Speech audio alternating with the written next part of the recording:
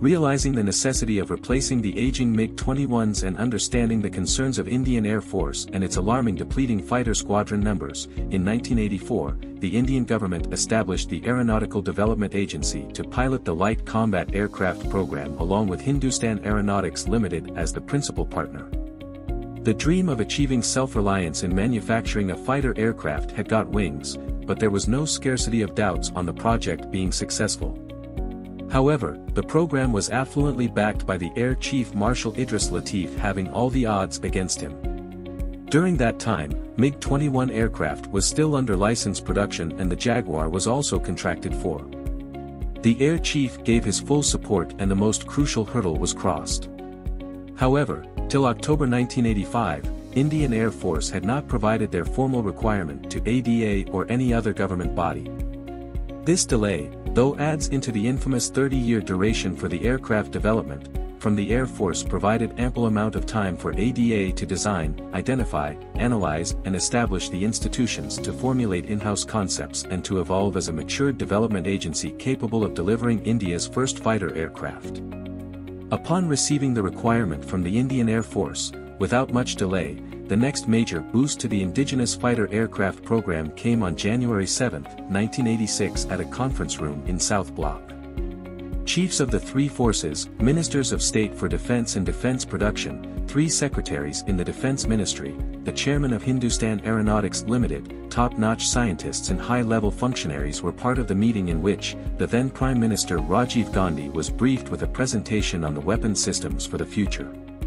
During the course of the presentation, scientists of Defense Research and Development Organization unveiled the blueprint to design and develop an indigenous and technically advanced fighter aircraft required to replace the aging MiG-21 squadrons and achieve self-reliance in combat aircraft manufacturing. Till then, progress of the fighter aircraft program had halted for five years and had been the debated topic, can India design and develop its own fighter aircraft? Can it do without any external technological aid? Does India has the resources and technology to fly its own fighter aircraft? Will India proceed to develop its own combat aircraft even after the sanctions? When the majority of the industry experts and other nations continued to have their discussions and raised questions on the project, a presentation at South Block had answered many. We are going for a tailless Delta wing, the then scientific advisor to the Defense Ministry, Dr. V. Varas Arunachalam said that while addressing to the media. As the designers had produced a viable design for the LCA, it was all green for the project. Dr. Kota Harinarayana, who was the program director of Light Combat Aircraft stated, the LCA will be a reality. There's not an iota of doubt about that. Dr. Kota's first hurdle was to scout for the best talent in the field of aerospace engineering within the country and bring them together. Even though HAL had manufactured fighter aircraft, Marut, it was designed by a German team led by Kurt Tank. To mitigate this void, best talents from the IITs and R&D laboratories of HAL and CSIR were recruited. Within a year, a team of 400 engineers and scientists were part of ADA. The next obstacle for the team was that it did not possess a suitable computer to carry out the designing of the fighter aircraft. To cater to the requirements of ADA, the Indian government convinced Washington to provide the IBM 390 computer. It was followed by the procurement of computer-aided three-dimensional interactive application, a computer-aided design software developed by Dassault for ADA. Sanctions imposed on India by Western nations were proving to be too expensive for the project, when it had a rough time to procure electronic components. However, these sanctions made the team more determined to design and develop each raw material for the aircraft from scratch. Though it was time-consuming, it was never late than before to realize the capability in achieving self-reliance in the decorated sector. In 1987, project definition commenced with Dassault Breguet Aviation of France as consultants. The consultation was mainly focused on design and system integration of the aircraft. It was reported that more than 30 top flight engineers from France were in India as technical advisors to International Aircraft Dealers Association and in September 1988, the project definition phase was completed. In May 1989, a review committee was formed to check on the potential of project preparedness and delivery, for which the committee reported that the technologies, facilities and infrastructure in India had advanced sufficiently in majority of sectors to carry out the project effectively. Based on the report and with inputs of industry experts and scientists, a two-stage full-scale engineering development process was opted.